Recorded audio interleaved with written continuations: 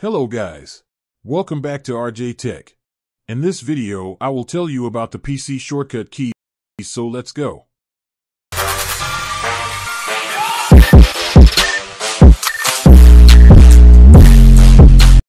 The first shortcut key is Windows key plus D.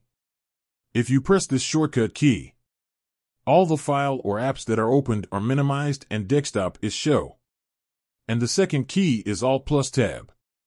When you press these keys, a panels of multi-screens are opened and you press the Tab key to navigate and then press Enter to open the specific app.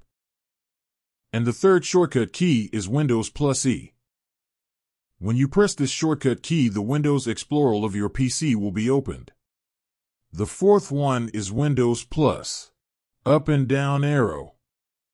When you press this, the file or app that you opened is maximized, and when you press the Windows plus down arrow, the file or app is minimized, and the next shortcut key is Control plus C and V.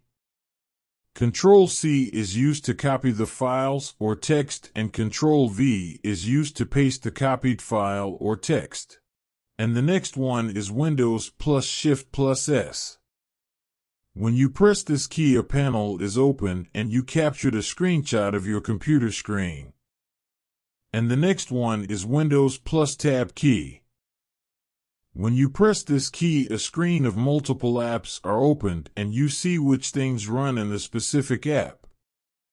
And the next one is Windows plus L. When you press this key, your computer will be sign out without closing your apps and files. And the next one is Control plus S key. When you press this key in an iPad and other apps, your file will be saved. And the last one is Windows plus semicolon. When you press this key, a panels of different emojis are opened and you write this emoji on any app.